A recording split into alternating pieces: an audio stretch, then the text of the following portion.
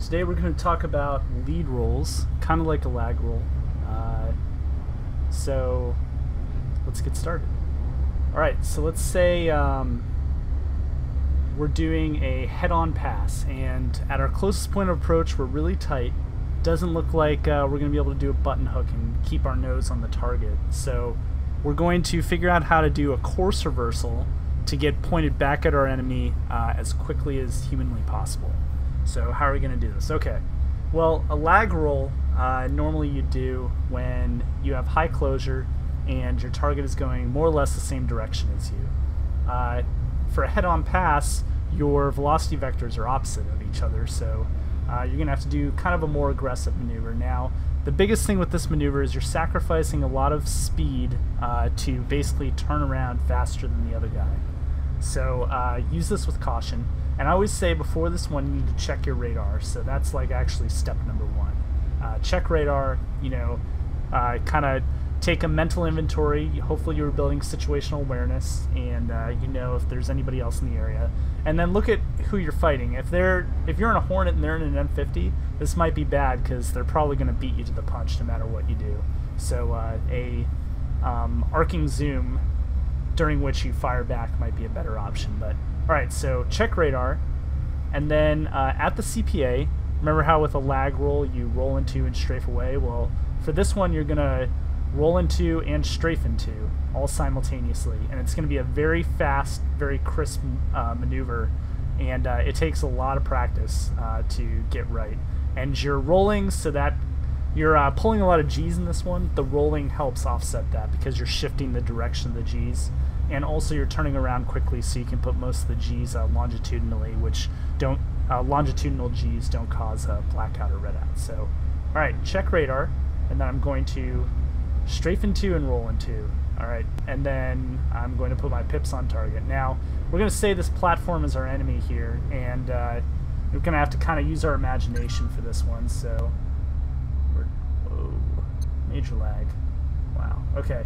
So that's our enemy. Let's say, you know, they're moving kind of this way as we approach them. So they're doing head-ons, they're moving left to right, and uh, this is going to be kind of weird because the, the platform's stationary, so it's not going to work exactly like it's supposed to. In fact, there's a good chance that I'll hit the platform as I turn around. But that should kind of just sort of show you how tight you can do this turn when you do it this way. So let's say the platform is heading towards the station. So if I roll out and I'm going towards the station, I know that I did it right, and I'd probably be uh, aiming at him, going towards him, and most likely he didn't do as aggressive of a turn, so he'll still be turning around, giving me a nice uh, bit of profile for me to take my uh, to take my guns onto. Okay, so I'm going to start off with a skidded attack here. All right, so I'm on a left skidded attack. He's going to go left to right, and here we go. And I'm going to use boost heavily. Whew.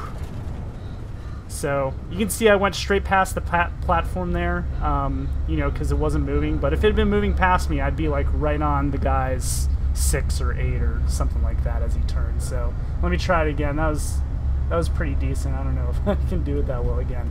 Uh, this one takes a lot of practice, and I'm still working on it myself. All right, so remember, roll into and strafe into simultaneously. Use boost liberally. I'm in a skidded attack. Generally, you're gonna go in the direction opposite your skidded attack. So here we go. So that's it. And I was forward strafing too. Um, if you don't have throttle, if you're not using throttle, like I stopped using throttle recently. So um, that's what it looks like. So I would start out practicing this in free flight like I am right now getting the muscle memory down, and then move on to Vanduul Swarm. Vanduul are great to do this against, but kind of like the platforms, they don't move as fast as players do, so it might be a little weird. You might do one of these and end up like really close to them and have to do another one. Uh, so uh, be ready for that. And then against players, this works great. Uh, so you know, everybody always asks, how do I fight a joust? This is one of the ways to do it for sure. Now, I want to reiterate that this probably shouldn't be your primary go-to move. This is in very specific situations because you get really sta- you saw how tight I turned there. Well, if my turn is tight, then I'm pretty much getting close to not moving for like a second or two. So you need to make sure nobody's firing at you and that the per- the target that you're firing is basically not good enough to do this against you too, because you're both going to be very vulnerable uh, against each other. But I think like the primary thing you should do is like kind of a rolling button hook if you can. So if you get your skidded turn in good enough, or your skidded attack in good enough, you'll have enough distance at your CPA that you can kind of keep your guns on target, and then sort of go into like this circling orbit thing. And uh, very few players can keep up with this sort of thing. So, um, and then as you make passes, you can sort of uh, just reboom in, rezoom in, that kind of thing. So. Ooh. Right, so next you're going to try in some Vanduul Swarm. I'm to try it here and see how I do. Uh, so, remember, uh, the Vanduul, they kind of don't joust the same way humans do. They usually go in like this kind of arcing turn thing. So this might be a little bit weird, but we'll see what happens. I'll try to get one of their attention so they go towards me, sort of. No, that's not going to work. I need a head-on pass. Here it is. So I'm going to strafe into and roll into, and then right like that. That's pretty much how you do it. Alright. So that one was kind of off the cuff. I didn't really have time to explain as I did it. So, like I said, this isn't really made for anything other than a head-on type situation, so can't really do it right here. But let me see if he'll turn toward me. There he is. Alright, so I'm going to get some distance from him. And then I'm going to skidded attack into him. And then as we pass, I'm going to strafe into Close on the G's there. Now I'm like right on it. So I think the first one was a better example, but oh, that lag. Alright.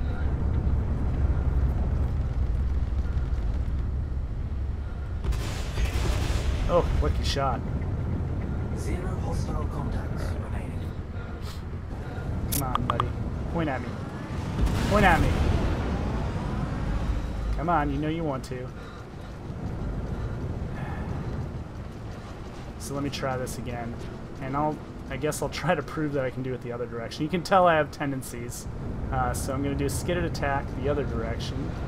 And then I'm going to roll and strafe. Well, I did it right that time. That's how you do it. And this is just a normal lag roll. Strafing outside of my turn. Ooh! I think I just got rammed by Randall. Awesome. Oh, don't kill all of them. Come at me, bro. Come at me.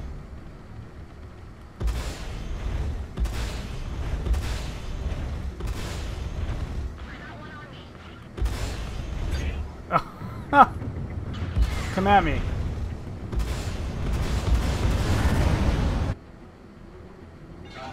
Alright, set up my skidded attack. Ready on the countermeasures button. Because we got Little King. Watch out for the asteroids when I do the maneuver.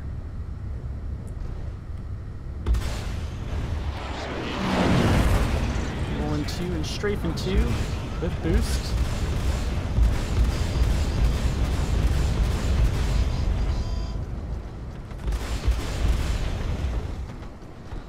into a it.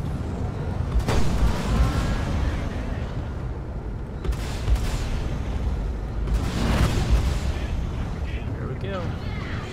Little King's on. Whoa! Goodness, that was a good missile shot, Little King. Alright, head on attack.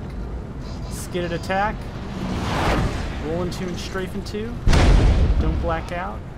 There he is right in front of me, like predicted sometimes that seems to happen. I'll like gray out, completely lose them, and then they're right in front of me when I do this maneuver. So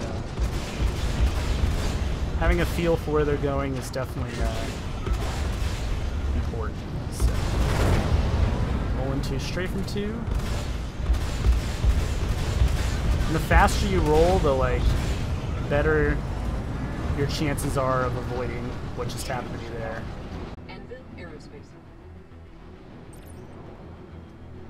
Right. So in a Hornet, because, you know, want to show people that you don't have to be in the Gladius to do it. So, I just keep in mind, guys, that the only time I ever fly the Hornet is for these videos, so not that great with it. But uh, here, let's see. This guy should come towards me. Yeah, right off the bat. It's hard to get head-on passes sometimes. All right, so uh, here we go. Got my skid attack. Man, this thing is a hog. All right, little, little action here. Whoa, definitely feels different. Alright, so roll into and straight. And look at that. See I'm right where I need to be? My aim sucks, but he has no idea. Maybe he just, know, maybe he's just having issues or something. Because he still isn't pointed towards me, so I'm not really sure what happened there, but...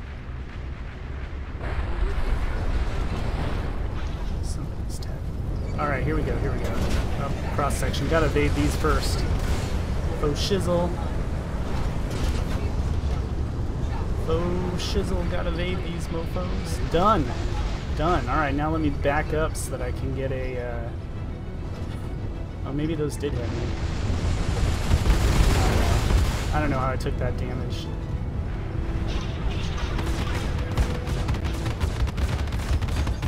Maybe doing this in the Hornet was a good idea.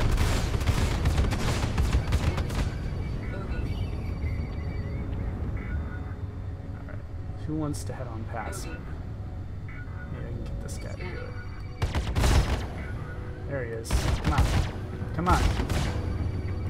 Come at me. No! Damn you.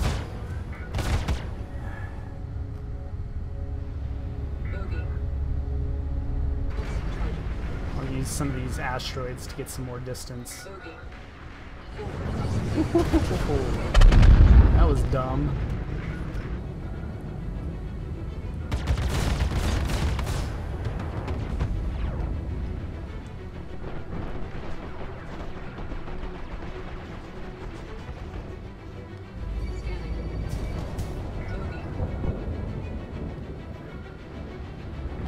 Straight into.